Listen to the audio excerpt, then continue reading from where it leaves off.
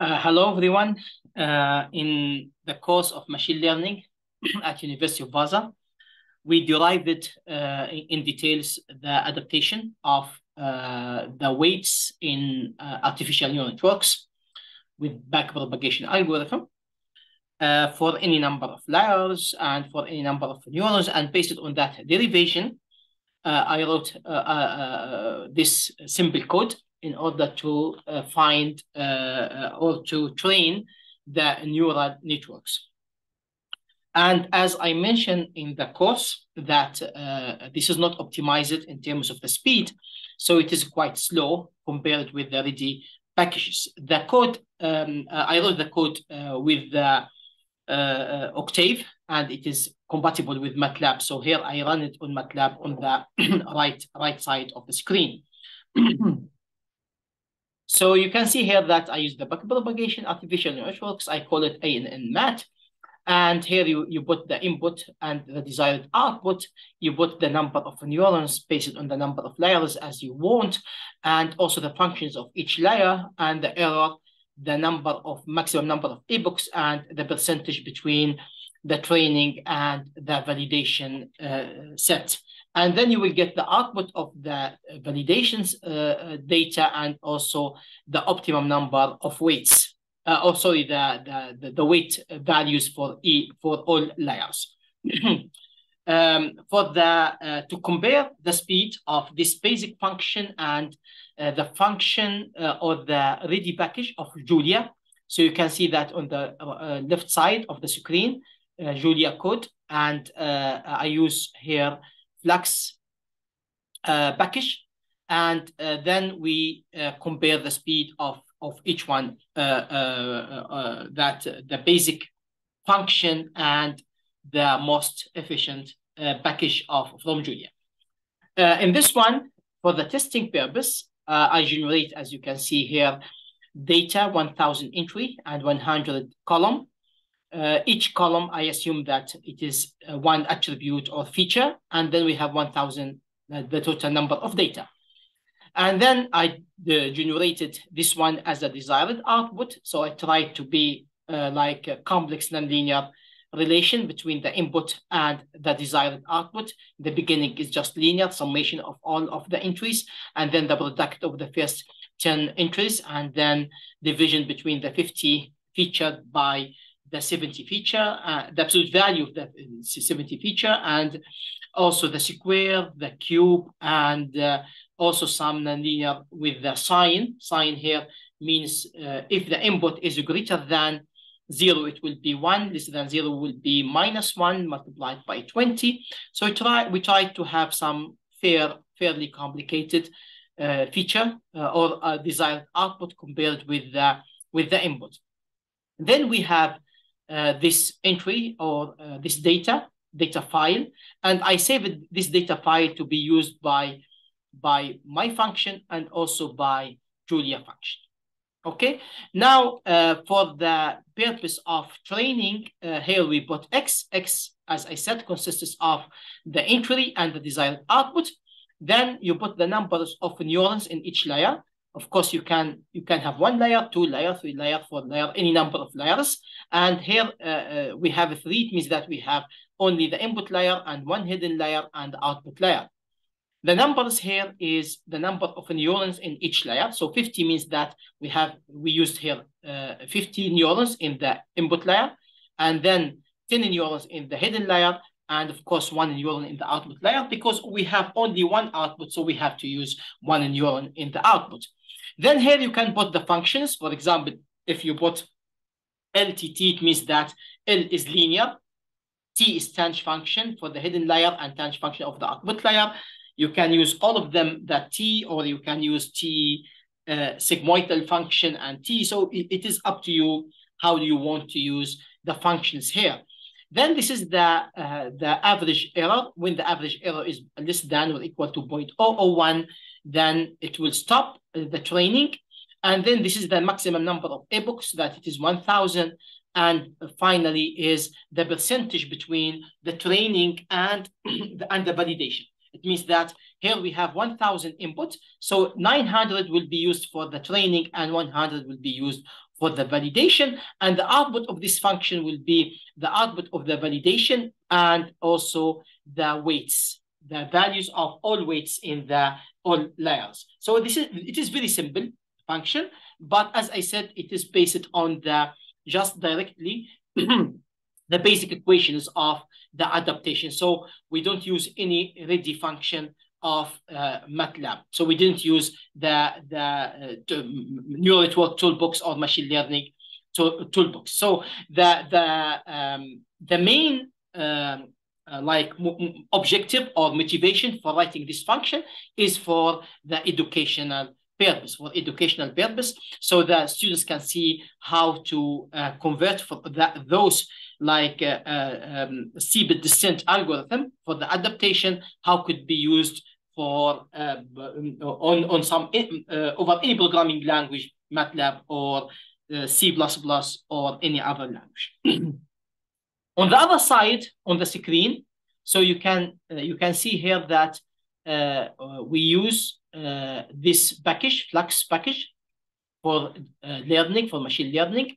Then I read the same file, this file, it has been also saved here, and then uh, we read it, okay, using this function. And then we uh, use the first 900 uh, entry for the training and also for X-train and Y-train. And for testing, we use the rest 100. So it, it is the same here. And also the number of neurons, you can see uh, we use this chain uh, uh, um, uh function in, in, in, in the flux. So you can see that we use this dense. We have 100 input, 50 neuron in the input uh, layer. And then we use 10 uh, uh, neurons in the hidden layer. And finally, one neuron in the output layer. Here, the first number here is the input. So we have 100 input for the first layer. And then we have 50 input for the second layer because we have 15 neurons in the, in the first layer. So we should have the same number of inputs in the second layer and so on. then we make the training. I use this uh, package TikTok in order to, just to compute the required time to execute this function. And also I use TikTok here in, in, in Octave or MATLAB to find the, uh, to compute the execution time. So here, let us start with the MATLAB uh, with my function here. And now it starts uh, the computation. It will take, of course, a much longer time than Julia. And in Julia side, I will also run the code. So you can see here. So it, it, it started already computing by showing this is the epochs uh, so the maximum number is 1,000. So we will see how, how much time it will take in order to finish this 1,000. Here uh, in, in the MATLAB, in order to uh, reduce the computation time, so I didn't print out the epoch number, but it, when it is uh, uh, it finished, this 1,000 will stop by itself.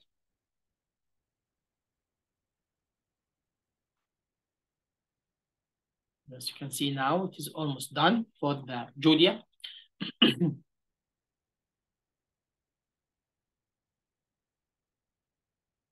yes, so it is done already. It takes 50 seconds about. You know that if you run it second time, it will be even much like uh, uh, faster if you run it second time. But before that, let me plot the, the result for the rest for the validation code. So you can see here. So it is the uh, uh, the original data is the uh, blue one and the red one is the output of the uh, neural network. So you can see that it is of course not not 100%, but still it follow the trend of the data, which means that we have some kind of generalization of the data itself. So it might need, of course, more. It might be like because of uh, uh, like underfitting. So it might need higher, larger need to uh, size in order to catch the data or maybe more number of epochs. or changing the, the, the, the, the adaptation rate and so on. But the, the idea here that I want just to see the, the, the difference in time between using basic function and using uh, those Julia packages. So now, uh, just to show you that if I run the same code again, maybe you can, of course, change something here, maybe change the data or maybe change the number of neurons. Let, let me change here the number of neurons in the hidden layer. So instead of 50, let me put it 60. Okay, so I added them little bit. And let me now run the code again. So the first time was, as you can see, that was 50 seconds. It takes about 50 seconds. And now let us see, even we increase the size of the network a little bit, and now we, we see how, how much time it will take to execute the same code. So you can see that now it becomes even faster because when you run the code the second time, it becomes faster. So you can change any parameters and repeat the code. You can see on the right side that uh, my function is still running. So there is no outputs yet. Even we run now the uh, Julia for the second time.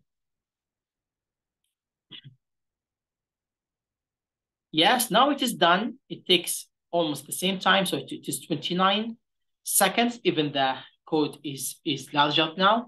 And if I run the plot function, Yes. So now you, we can see that it is it is even better before when we increase uh, the size of uh, the network. Okay. So it means that it is almost uh, it captured the relation between the input and and uh, the output. Okay. So um, of course it can be usually the errors or the differences can be due to the due to like uh, overfitting or uh, uh, like uh, uh, underfitting of, of, of the data.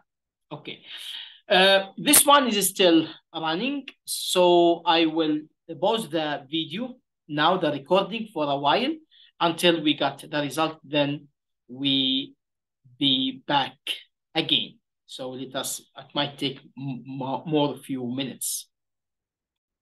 Yes, it takes about as you can see, it takes about more than seven minutes in order to compute the same or to solve the same problem.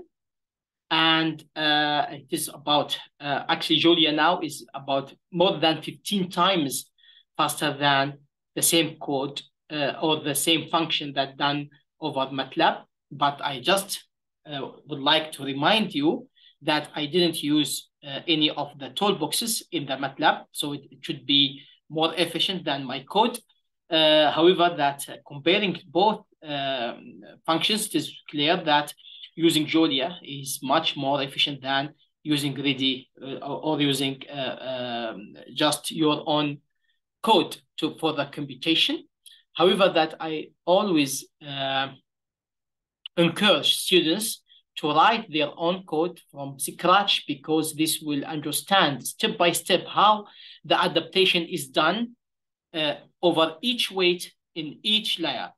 Uh, here we use it just normal backpropagation neural networks, but the same concept can be applied also in deep learning with convolutional, for example, uh, network, where you can adapt also the weights of the matrix of the convolutional uh, uh function itself. So actually the concept is, is the same. And once you write the code yourself, you will understand like deeply how, how things are, are done.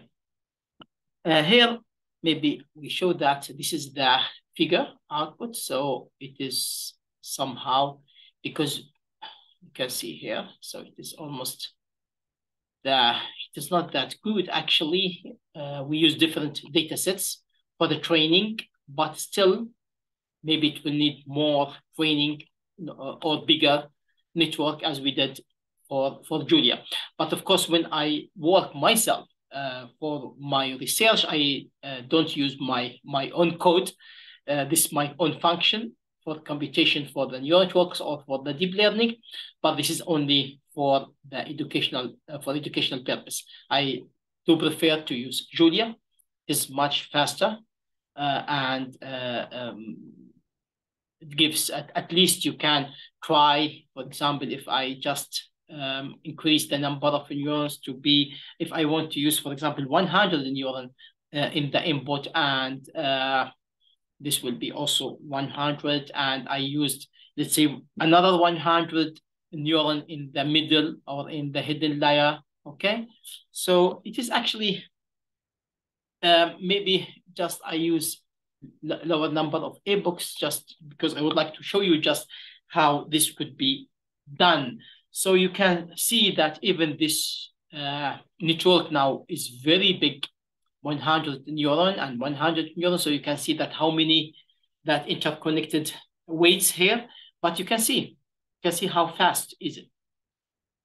Yes, so it gives the result very fast. And now if I check the, uh, I believe that if I did that for my code, it will take at least one or two hours to give the result.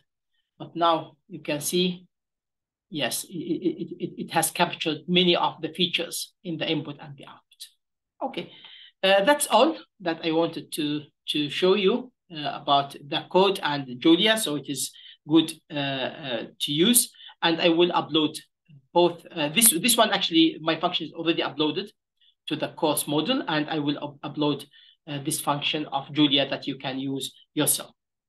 Okay, thank you very much.